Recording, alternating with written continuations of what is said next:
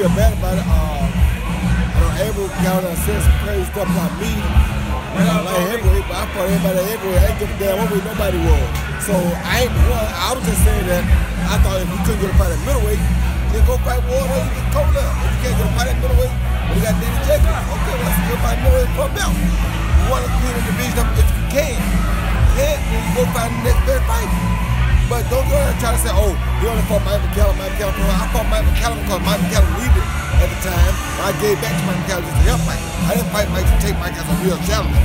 Duh. So don't play with me, Abel. I ain't the dude that do that. I fight, I fight for real. I ain't give a damn who you was. But I hope the dudes can make the fight. You know what I'm saying? I just hate that people like him take it and run the wrong way with it because that's not what I was saying. I was saying we can't fight on challenge no way. Go like heavyweight. Now you got in the energetic gonna fight you. You wanna get every belt you can. You? All the other foolishness,